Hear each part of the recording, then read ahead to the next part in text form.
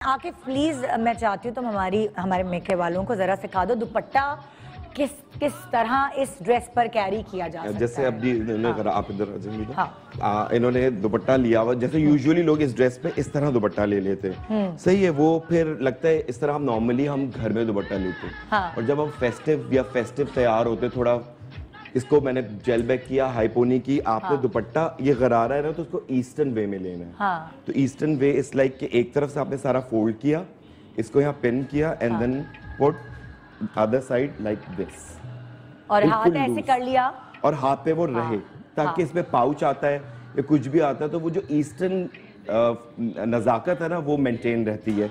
Because dress की requirement इसी तरह के दुपट्टे की स्टाइलिंग माँगता है।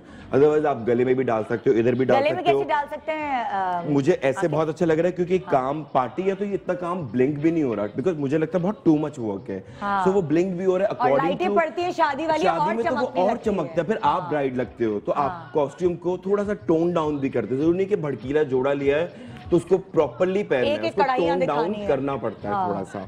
क्योंकि आपका मेकअप भी फेस्टिव है फिर ज्वेलरी भी आ गई फिर उसके ऊपर हाँ। ऊपर कपड़े भी आ गए और वो भी इतने एम्ब्रॉयडेड तो आप फिर बड़े लगोगे आप डिफरेंट नहीं लगोगे अच्छे नहीं क्लासे नहीं लगोगे